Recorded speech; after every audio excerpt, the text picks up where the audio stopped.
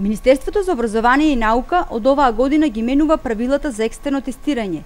Системот за екстерното тестирање на учениците е унапреден, преку кој се оценуваат и наставниците. Така на четиргодишно образование ќе биде реализирано во текот на месец јануари или попрецизно во датумите 22 и 24 или уште попрецизно четврток, среда и петок ќе се реализира.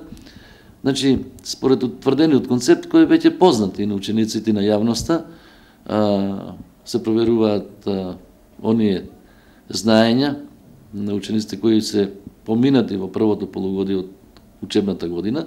Прашањата од тестовите по предметите од наставната програма на училиштата веќе од синоќа се објавени на веб порталот на Министерството за образование, Испитниот центар и Бирото за развој на образованието. Во периодот од еден месец, учениците ќе имаат доволно време да го повторат своето знаење без да го чувствуваат како дополнителен товар за учење екстерниот тест. Три дена пред самото реализирање на екстерното проверување, учениците ќе знаат по кој предмет ќе полагаат, ќе бидат проверувани нивните знаења.